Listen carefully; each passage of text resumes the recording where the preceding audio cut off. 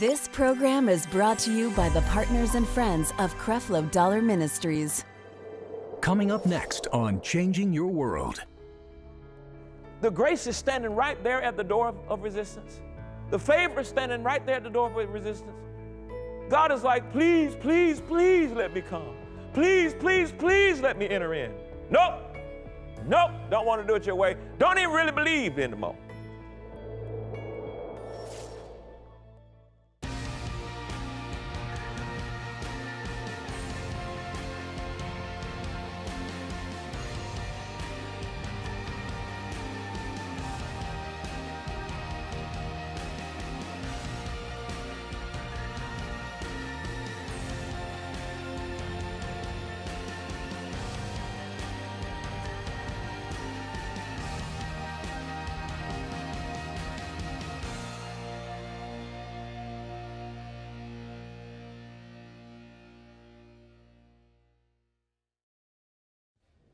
This is your world, so let's vow to make it a better place.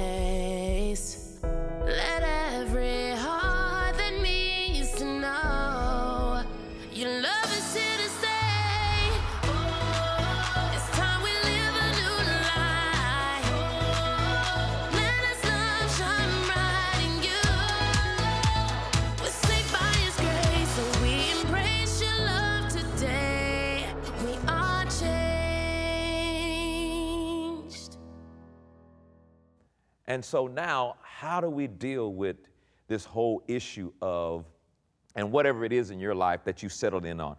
Is there sin that you've settled in on? Something that you just say, well, okay, I know this is wrong, but God loves me. And then you kept doing it.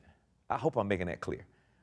This is wrong, but God loves me. No, it, it, it, there's something, what, what's wrong with that, Pastor? I mean, isn't that the truth? Uh, I'll let you decide. Let's begin in Titus. Let's begin in Titus chapter 2. Now here's where I'm going to I'm to I'm to give you the info. In fact, let's start at Philippians chapter 2. Philippians 2:13 in the NLT. Let's start there and I'm going to give you the information and then you you make the decision now. You make the decision. We exalt in grace. We're exalting grace, but I cannot have I cannot have the people of God deceived. It's a real thin line here, but we can get it. Now watch this. For God is working in you. Now, for the Christian, every person that's born again, God's working in you.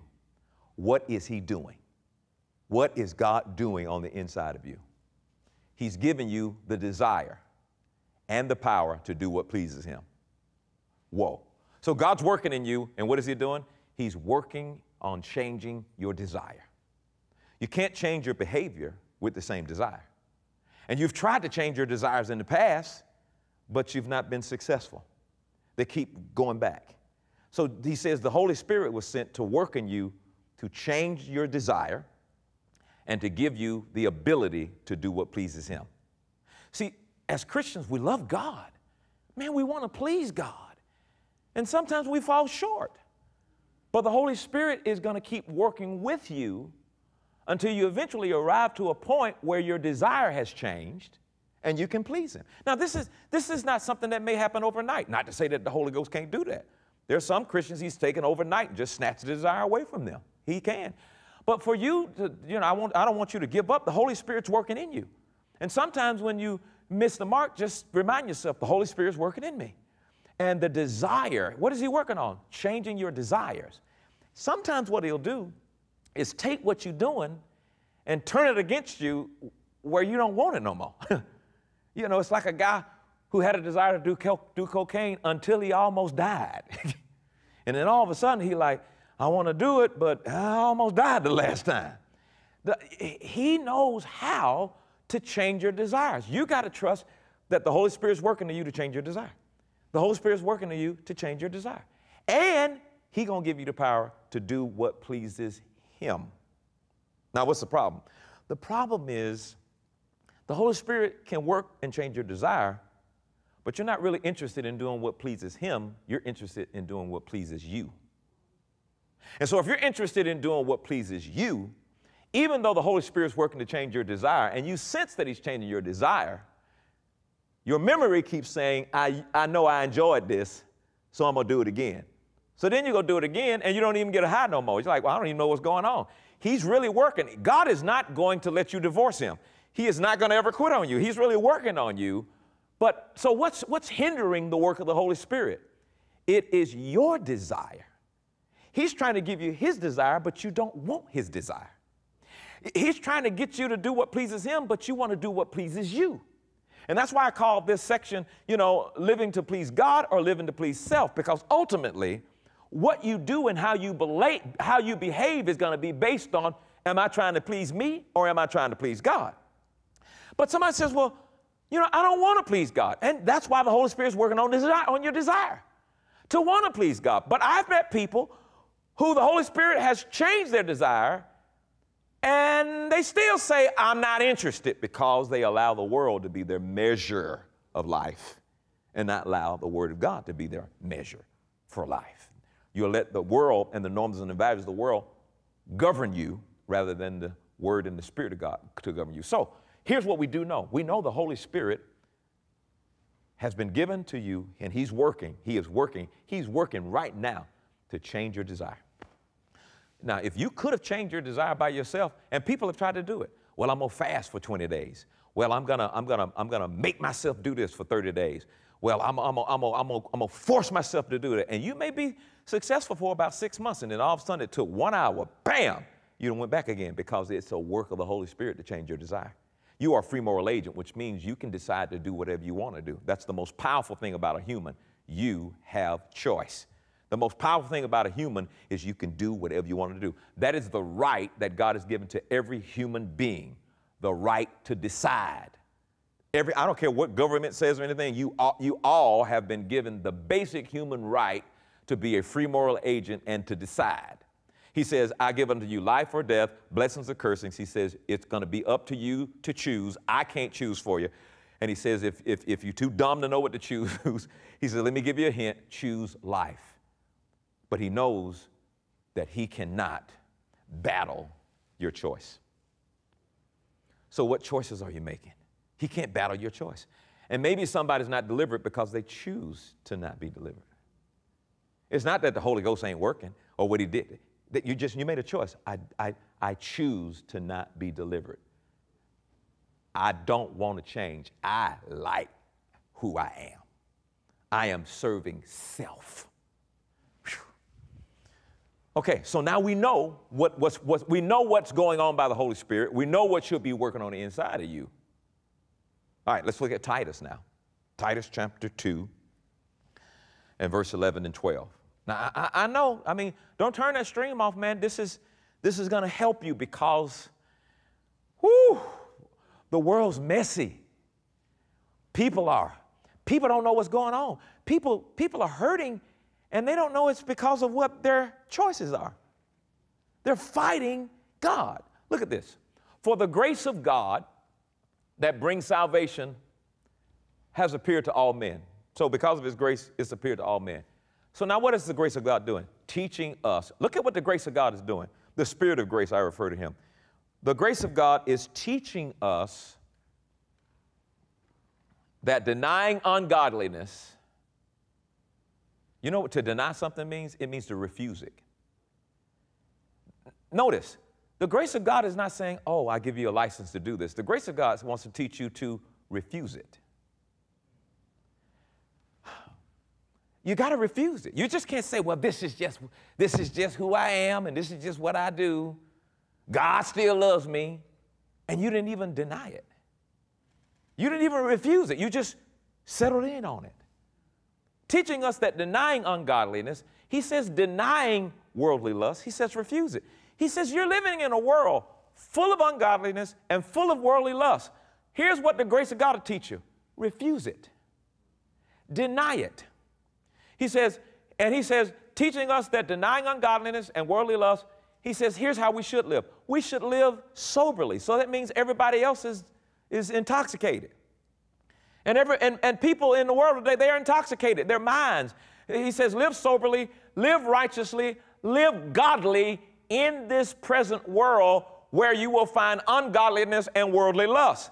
Here's what grace does when you say, I'm under the grace of God, if you're under the grace of God, guess what? You should be demonstrating some refusing and denying of worldly lust and, and ungodliness.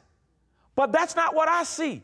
In people who are, have come to church, who have got born again, who even serve sometime at church, but in their private life, they've become comfortable with their ungodliness and comfortable with their worldly lust to the point where they're no longer refusing it, they're accepting it while they put up a phony appearance so the people at church may not necessarily see it. It's easy to see, but people think they cover stuff up. It's kind of like you just smoked before you came into church and you sprayed your mouth with some mouth. You can smell that stuff. You, you, you, you, can tell. And so, so what, the point I want to bring up is, are you refusing it? Lasciviousness means no restraint. I have no restraint. I'm, I, am trying to find a brake. I'm trying to stop. See, there you're trying to do it. You're stuck in lasciviousness, and He gave you the Holy Spirit to help you find the brakes.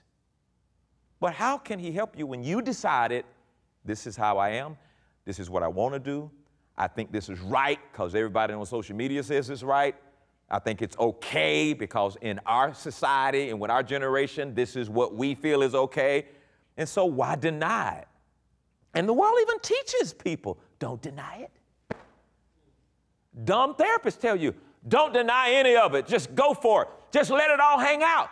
I used the illustration one time if you get on a horse without a bit and just tell a horse to go for it, he'll kill you.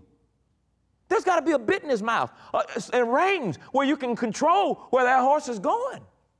And that's what the Holy Spirit's trying to do. He's trying to put a bit of God's word in our mouth so he can help us not just run wild. But if we could not deny it, and if you, even if you even if you tried to deny it and fail and got back up and say, well, let me keep trying, that's that's You'll get grace that way. You'll get more grace to help that way. Versus, I'm done. This is just what I do. This is just who I am. I decide there's nothing wrong with it. God still loves me and I know it.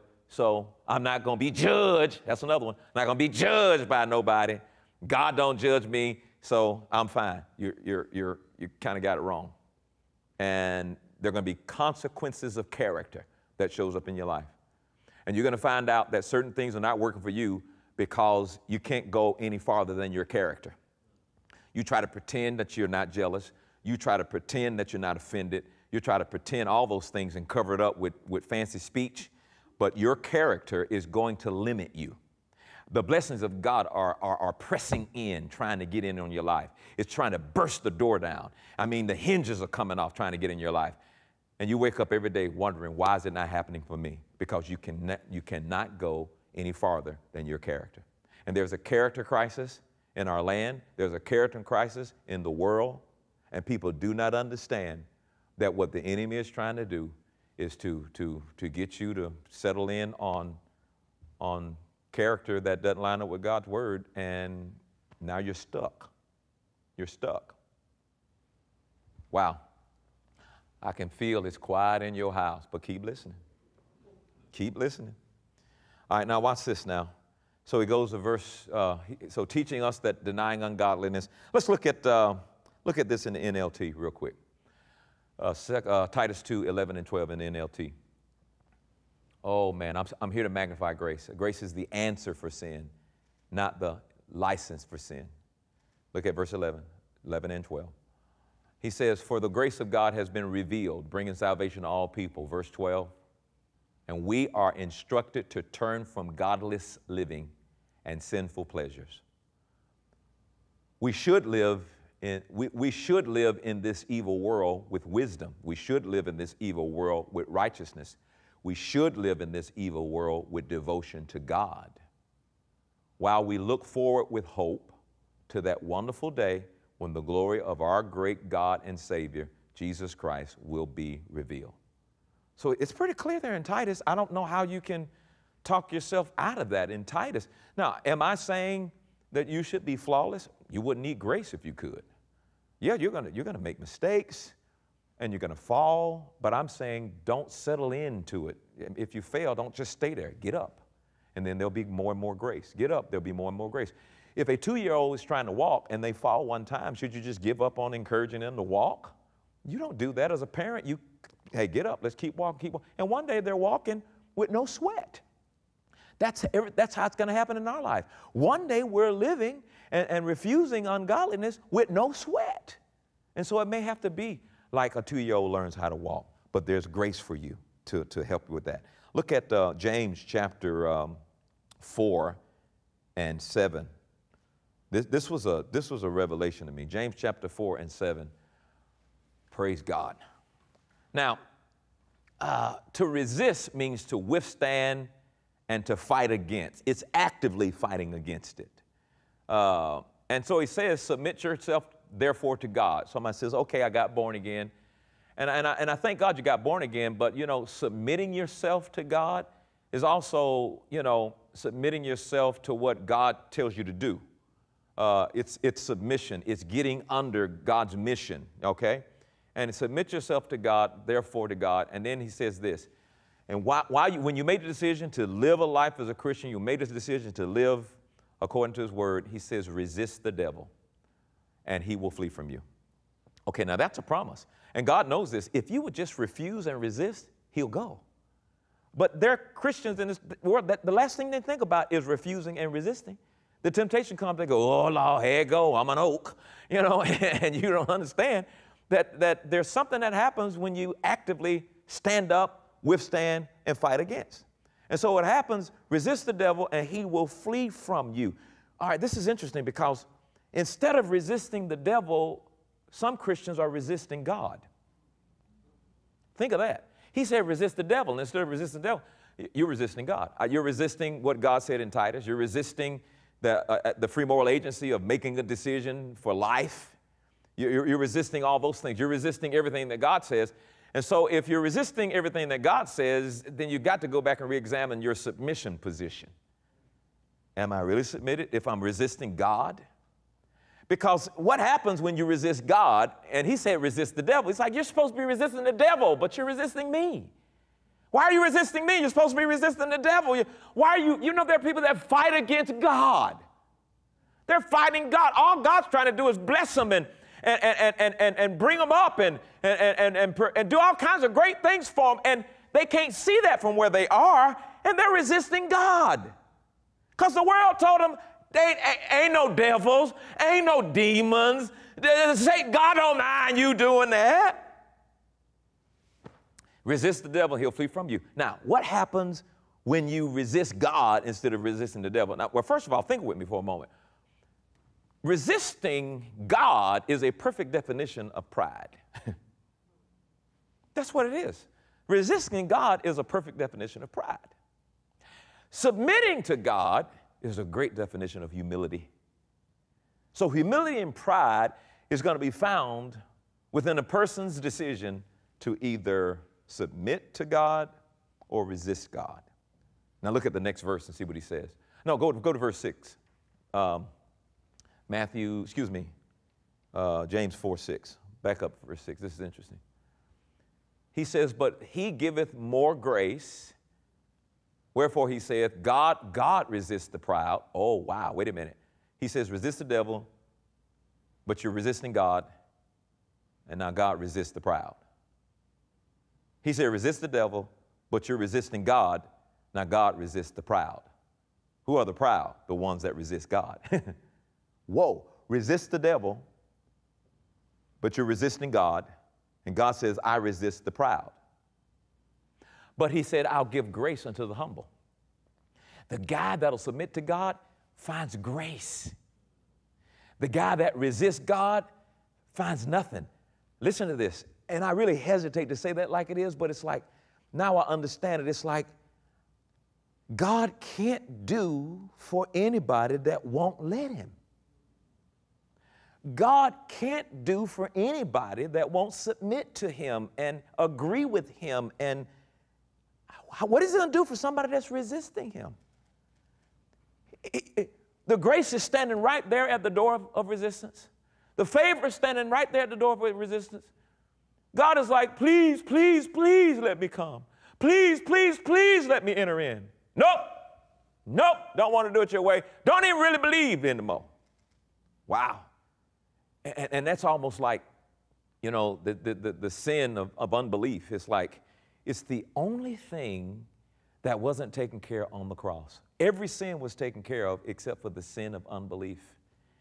And wouldn't this be a form of unbelief? So what can he do for the person that doesn't believe? What does he do for the person who decides, I'm going to resist God? Ain't nothing wrong with this. I don't believe that. I don't believe it. God is love. See, we, we, we, don't, we don't know how to deal with that phrase, God is love. We, we, we translate God is love as God is compromise. Now, God is love, and God loves those who still compromise, but He's limited in what He can do because it requires cooperation. You are a free moral agent. You have to decide I'm going to let God bless me. People are going to live all their lives coming to church and saying God loves them and never benefit from what God could do while you were on the planet. I'm talking about what God can do while you're on the planet. I'm gonna have, I'm gonna have to let you decide what happens when you when you die, because I mean, Bible's real clear. He says all you got to do to get to heaven is believe. And then I question what is belief? Is belief somebody that says it, well, I believe, and then does contrary? Is it enough to say, I believe? Well, the Bible says, believe in your heart and say it with your mouth. But that's the case. What's in your heart when you said it? There's a lot of different issues you think about when you talk about authentic belief. And when you talk about authentic belief, it eventually it ends up with are you resting in what he said as submission? It just keeps going, it keeps going. There's this thing that the world is trying to get you to do some stuff. I'm going to show you what it's, what it's called in Scripture. And it's going to really be a mind boggling thing for you to see what's really going on. In fact, I'll show it to you right now. Go to Jude the book of Jude, verse 4. I want to read it in the NIV and the NLT. The book of Jude, verses 4, because this is what I believe is happening. Jude 4, keep it there in the King James, and then go to the NIV, and then go to the, the New Living Translation. Let's read this. For therefore, for there are certain men crept in unawares who were before of old ordained to this condemnation, ungodly men turning, turning the grace of God uh, into lasciviousness. Now, that word turn means uh, transpose, or what it says is they want to take lasciviousness and put it in the place of grace. And they want to take grace and put it in the place of lasciviousness. And then they want to deny or refuse the only Lord God. And I first saw that, I'm like, oh, whoa, what is this scripture saying?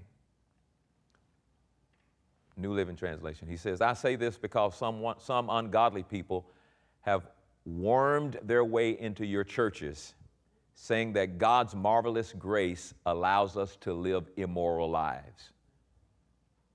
They said that God's marvelous grace has allowed us to live immoral lives. You know, that's true today. I see a lot of people in church that says God's grace allows me to live an immoral life. That's not the truth. God's grace doesn't allow you to live an immoral life. God's grace is the answer for not having to live an immoral life.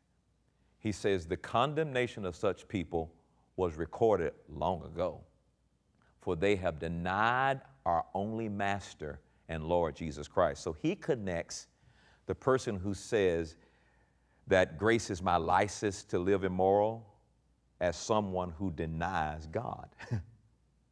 he is saying, when you made a decision to say that I'm under grace, which allows me to live an immoral life. I, I remember there were preachers going around saying, you know, well, I got a divorce, but the grace of God allows me to do that. Or, uh, hey, it's okay to go ahead and have sex with these people, but the grace of God allows me to do that. You just got to know somewhere on the inside, do you know that ain't right? So think about what it has to what has to happen on the inside of a person to reach that point